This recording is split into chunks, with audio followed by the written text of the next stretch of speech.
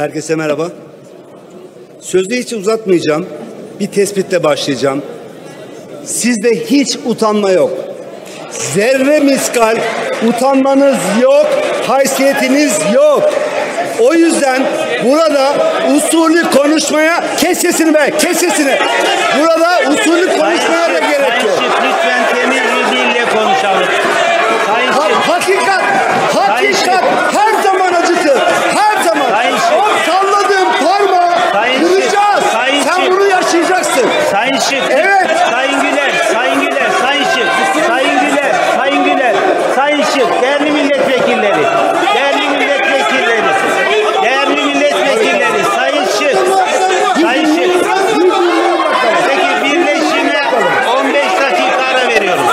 Usul tartışması açıldı ama burada usulü konuşmaya hiç gerek yok. Çünkü anayasasızlığın hüküm sürdüğü, kanunsuzluğun teamül haline geldiği bu ülkede size mevzuat anlatacak falan değilim.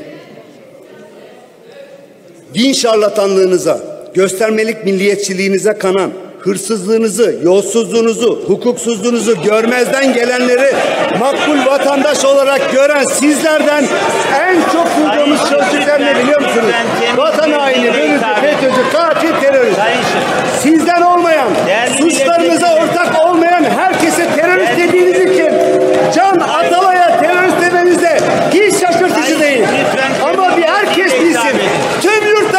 Bilsin. Bu ülkenin en büyük terör örgütü, hanedanlık mafyasıyla devlete çöken işte bu sıralarda oturanlar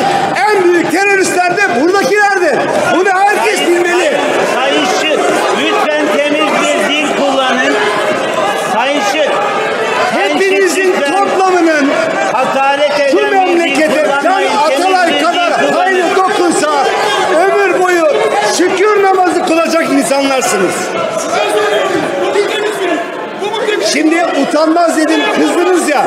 Ben size anlatayım neden. Ahlaktan bahsedecek en son işte. Bak birazcık birazcık ahlak sahip olsanız bu adam meclisi yönetemez.